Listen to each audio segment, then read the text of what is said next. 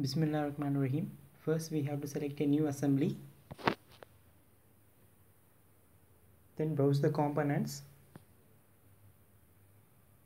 which we have already created and place it at the required positions. Again we have to insert a one two more components. Go to the insert components and browse it. Select the corresponding components and click OK now we have to create a mate between the two components. So select the cylindrical faces of gear and uh, shaft. Make a concentric mate after that you have to make a coincident mate between the two faces of gear and supports. Then click ok. Again we have require one more component such as gear. So we have to just close the mate and go to the insert components and browse the gear.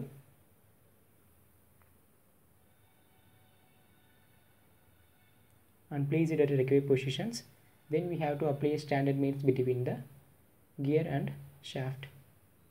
Select the both cylindrical faces of gear and shaft apply the concentric mate and then click ok. Again you have to make a coincident mate between the faces of gear and gear shaft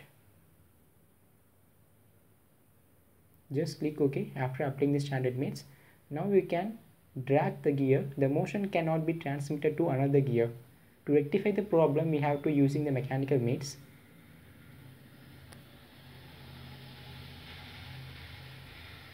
just go to the mates inside the mates we need to require the mechanical mates so select the mechanical mates and select the gear type mate after that you need to select the references of both gear.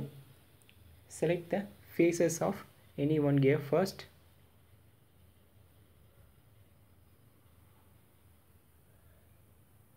And then we need to select the same opposite face of another gear.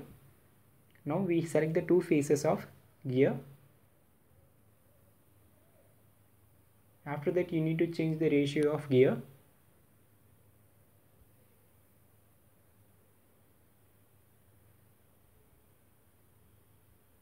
then click ok. Now you can drag the any one gear.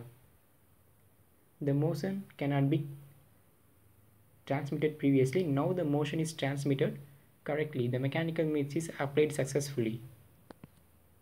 To get the regular updates of my video please subscribe in my youtube channel. Inshallah we will meet in next video